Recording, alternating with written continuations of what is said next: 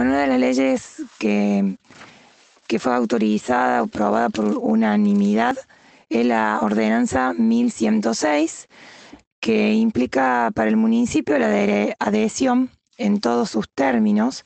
a la ley provincial 10.758 y esta que se adhiere a la ley nacional 27.592, conocida como la ley Yolanda, en donde establece la capacitación eh, obligatoria en temática de ambiente y con una perspectiva en el desarrollo sostenible eh, a todos los empleados municipales, en todos los niveles eh, desde el ejecutivo, legislativo y toda la parte de administración y de operativa.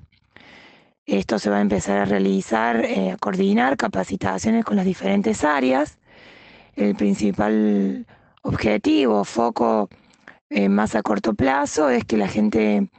que está trabajando y colaborando con el municipio tenga presente la importancia principalmente del poder cuidar y proteger nuestro medio ambiente y también el tema del tratamiento correcto de lo que son los residuos. Sin sácate ya hace un par de años que venimos trabajando con esto y queremos terminar de, ajustar algunas condiciones o, o gestión para poder tener una separación eficaz de residuos principalmente y por supuesto también seguir con todos los cuidados de la naturaleza